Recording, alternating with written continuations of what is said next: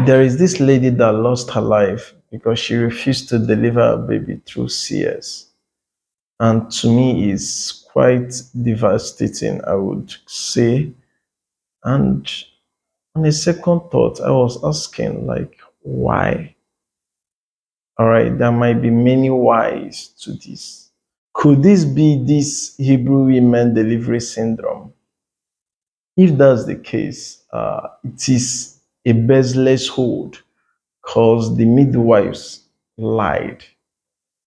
Okay, it was just something they said in order to, you know, defend their action of not killing the male child or the male um, children giving birth at that time.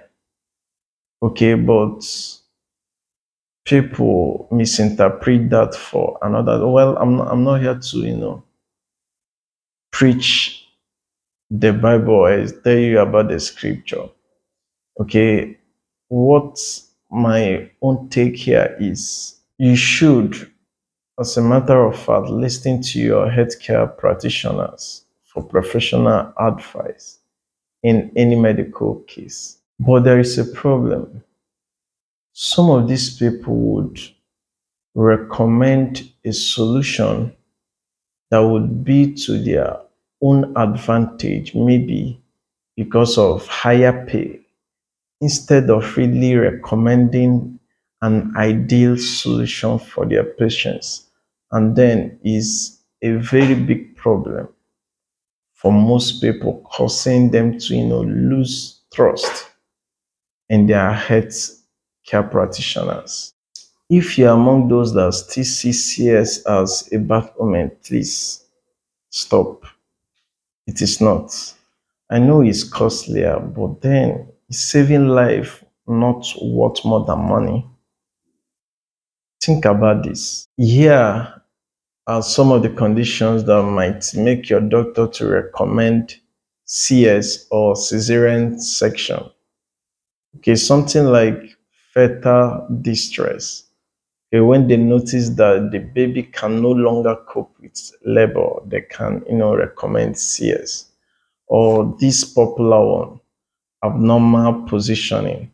Maybe instead of head, okay, the baby is coming out with um, feet, all right, or wants to come out sideways. Okay, it's a very big problem during during the delivery and the doctor might recommend CS. Also, some cardiovascular disorders like hypertension it might make the mother not to be fit for labor. Their CS can be recommended. Okay, even infection like uh, herpes.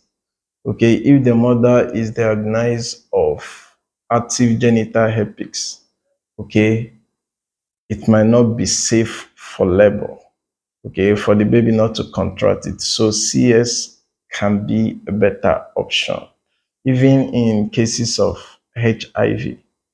All right, CS can equally be a better option. There are other conditions that might, you know, make your healthcare practitioner recommend CS. Okay, let's talk something like uh, in a situation whereby the baby's head is too big. All right, in some um, congenital disorder, there the doctor would recommend cesarean section. Okay, there are many of them, but in all, there must be evaluation. They must weigh both the advantages and the disadvantages to know what works better for you. And that can only be done by a qualified healthcare practitioner. That's why I always recommend that you build this uh, trust with your healthcare practitioners. You have this personal relationship with them. Okay, in our previous video or in one of our videos, we have, you know, explained how you can get the best from your doctors. All right, so you do where to go check it out.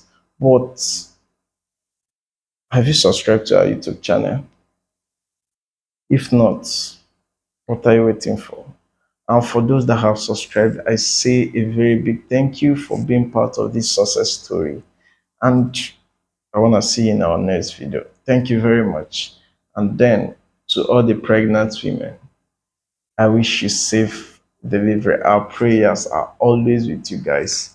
Remain blessed and remain safe. Ideal Med Health, creating a healthy world.